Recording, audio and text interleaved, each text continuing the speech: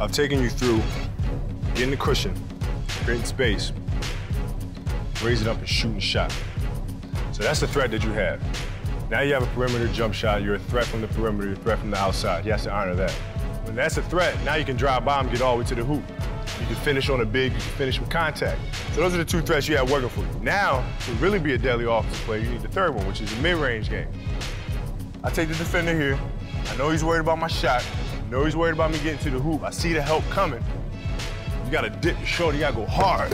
A lot of people make a pull-up jump shot look like this. They go like, yeah, that's not, that's not a threat. That's nothing. The guy can steal the ball that way.